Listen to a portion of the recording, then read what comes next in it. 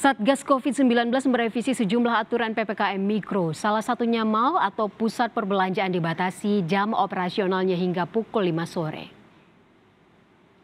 Selain jam operasional mal, Ketua Satgas Penanganan COVID-19 menyebut aturan lain yang akan diubah adalah restoran hanya diperbolehkan menerima pesanan take away atau bungkus dan maksimal beroperasi hingga pukul 8 malam. Perubahan ini guna menekan mobilitas warga yang menjadi kunci pengendalian penyebaran virus corona. Kemudian untuk sektor-sektor uh, ekonomi seperti mal, ini hanya dioperasionalkan sampai dengan jam 17. Kemudian restoran hanya diizinkan untuk take away. Ini dibatasi sampai pukul 20.00. Ini berapa pembatasan yang akan nantinya diterapkan sebagai revisi dari uh, Inmendagri yang sudah dipedomani uh, sampai dengan hari ini. Saudara kita terhubung dengan Kasubit Tracing Satgas Penanganan COVID-19, ada Pak Kusmedi Priharto. Selamat sore Pak. Selamat sore, Assalamualaikum warahmatullahi wabarakatuh. Waalaikumsalam warahmatullahi wabarakatuh. Pak, uh, sampai sejauh ini Bapak melihat penerapan PPKM Mikro seperti apa Pak? Apakah sudah efektif atau bagaimana? Ya, jadi kalau berbicara PPKM skala mikro itu sebenarnya konsep kita uh, terakhir ya artinya uh, kita menyadari bahwa apa masalah COVID ini tidak bisa diselesaikan hanya oleh kesehatan ataupun satgas saja, tetapi diperlukan gotong royong dari semua institusi, termasuk di dalamnya adalah pemberdayaan masyarakat, di mana masyarakat harus ikut bertanggung jawab untuk menyelesaikan masalah ini secara uh, luas.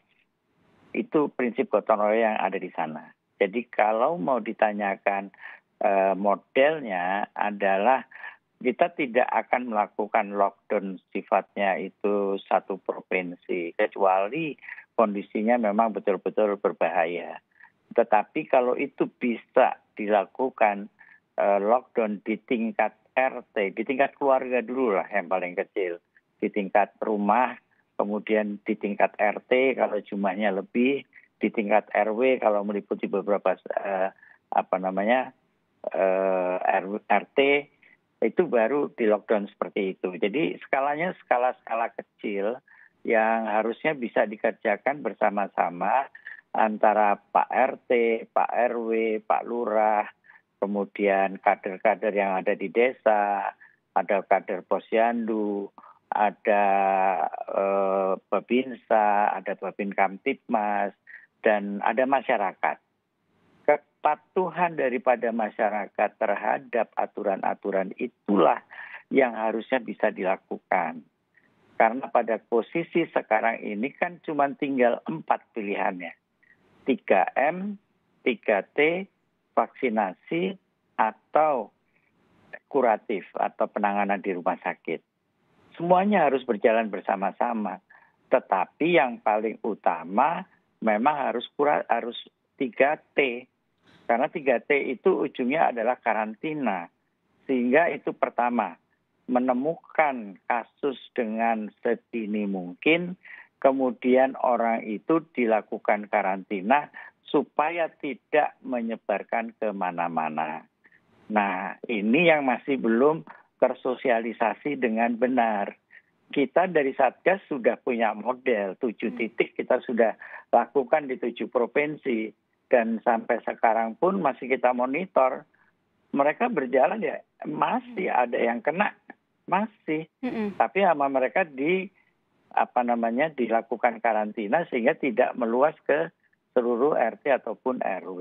Nah, Baik. itu tujuannya. Dengan kondisi Indonesia saat ini sebetulnya eh, menurut Bapak sendiri eh, apa yang perlu atau harus ditekankan ketika PPKM mikro diterapkan? Di mana pun prinsip dari Pak bahwa wabah itu adalah melakukan karantina. Kalau karantina itu tujuannya adalah tadi menemukan orang sakit secara dini, dan melakukan pembatasan ruang gerak bagi mereka yang eh, sakit ataupun mereka yang terkonformasi eh, kontak erat dengan orang itu supaya tidak menyebarkan penyakitnya itu prinsip wabah. Tidak ada lain di mana-mana itu yang dilakukan. Kalau karantina yang Bapak sebutkan ini hanya untuk uh, khusus di zona merah atau uh, seluruhnya atau pembagiannya akan seperti apa, Pak?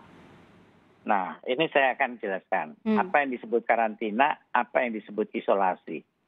Yang disebut karantina itu adalah membatasi orang-orang yang kemungkinan terkontaminasi dengan orang yang sudah positif. Sedangkan isolasi adalah orang-orang yang sudah sakit dilakukan isolasi di rumah-rumah masing-masing atau di shelter-shelter tertentu untuk menjalani sampai dia sembuh. Karena prinsipnya virus adalah self, eh, self-limiting disease, artinya sembuh dengan sendirinya sementara daya tahan tubuhnya kuat. Nah, buat mereka-mereka yang kemungkinan terkontaminasi dengan orang yang positif dilakukan karantina. Orang dari luar negeri. Karena di daerahnya itu kemungkinan di situ ada COVID yang tinggi, begitu masuk di, di, di airport, dia dikarantina dulu. Harusnya karantina itu dilakukan 14 hari. Saat ini masih dilakukan lima hari. Kenapa dia 14 hari? Karena masa masa hidupnya kuman itu kemungkinan besar di 14 hari atau bisa lebih apabila daya tahan tubuh orang itu tidak kuat. Jadi ini tetap harus di, dibatasi terhadap itu. Kalau ini dibuka, kemudian dia bereaksi, hari ini diperiksa PCR negatif karena dia baru hari pertama, hari kedua. Kemudian dia hari keempat, hari kelima dia positif. Padahal di sini sudah dinyatakan negatif dia jalan-jalan ke sana ke sini, dia akan menulari yang lain.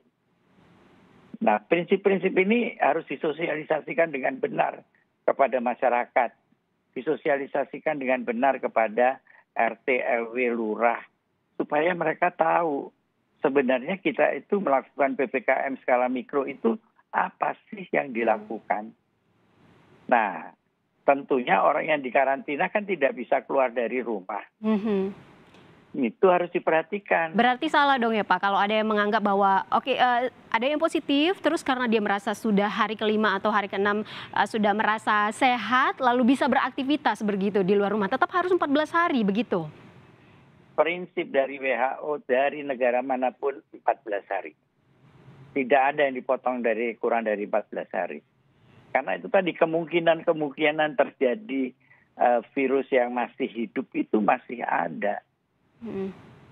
Baik, tadi Bapak menyebutkan ada empat hal ya Pak ya, 3M, lalu 3T dan uh, vaksinasi. Vaksinasi juga targetnya sudah berjalan uh, berjalan baik.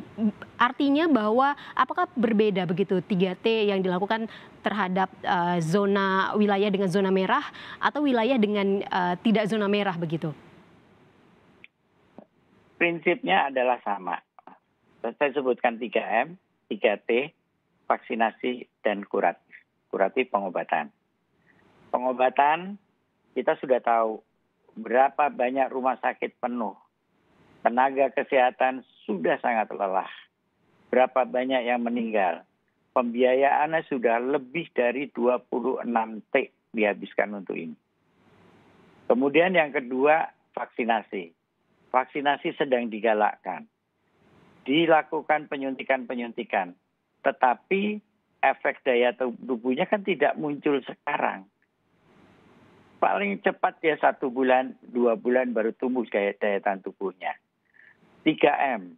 3M harus dilakukan penyuluhan, memberitahu dengan masif, menjaga budaya kebiasaan mereka untuk menggunakan masker, mencuci tangan, menjaga jarak. Butuh effort yang gede 3T, 3T kita sudah lakukan sejak bulan September sampai dengan bulan Maret. Angkanya jelas turun. Kalau dilakukan sekarang secara masif, semuanya yang sakit, kemungkinan sakit dan sebagainya dikurung, itu akan mudah. Paling, paling mahal pembiayaan ini adalah melakukan tes dan memberi makan buat mereka yang dikarantina. Berarti Pak Cuma dengan itu. kondisi uh, kasus COVID-19 yang melonjak di tanah air ini apakah artinya bahwa tracing saat ini sudah dilakukan dengan benar begitu? Nah, itu yang menjadi masalah. Melakukan tracing itu bukan hanya sekedar memberitahu bahwa orang itu uh, positif. Hmm. Tapi dia harus kita berikan penyuluhan. Kita harus kasih tahu dia, kamu harus di rumah. Kamu harus makan yang sehat Makan sehat saya makan dari mana? Pak RT ini ada warganya yang sakit. Mana dana desa yang sudah dikeluarkan untuk memberi makan kepada mereka? Siapa yang memberikan masakan? Mereka memasak sendiri, kasih bahan mentah, atau dimasakkan oleh uh, tugas di RT-nya. Kemudian dibagikan. Kemudian diakomodasi kalau ada keperluan-keperluan di uh, dalam rumahnya. Karena dia tidak bisa keluar dari rumah. Hmm kemudian diperiksa kalau ada keluhan-keluhan yang berubah. Kalau keluhannya masih bagus, masih nggak ada perubahan, bisa berjalan, bisa mencium, bisa ini dan sebagainya, oke. Okay. Tapi manakala dia mulai ada sesak, mulai ada ini, maka dia harus menghubungi puskesmas untuk menyiapkan ambulans atau menyiapkan tenaga yang harus bisa masuk ke dalam rumah dengan menggunakan APD yang yang yang yang sesuai untuk dia bisa eh, tidak terkontaminasi berbeda itu. Ini belum tersosialisasi semua. Hmm. Yang ada cuma dipikirnya tracking itu cuma nyari orang hmm. terus dikasih tahu dia positif, bukan itu. Baik, Pak Kusmedi terima kasih banyak atas penjelasannya. Terima kasih sudah bergabung bersama kami di Kompas TV. Demikian uh, dialog kami bersama Kasubdit Tracing Satgas Penanganan COVID-19 Pak Kusmedi uh, Priharto.